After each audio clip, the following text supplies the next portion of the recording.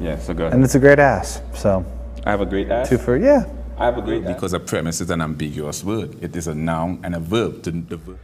So, but it shows two things. It shows solipsism postulates that I cannot prove with absolute certainty that other minds exist. So this is where But my point is, it's two contrasting philosophical ideologies. You side with the awareness of the fact that you are dreaming.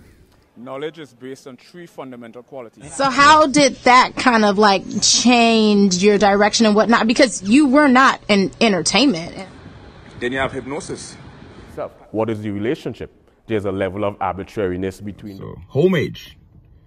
Respect. But um, back to dualism. This is an image of a. Um, so you have a beautiful woman. Simultaneously, you're looking at a saxophone player.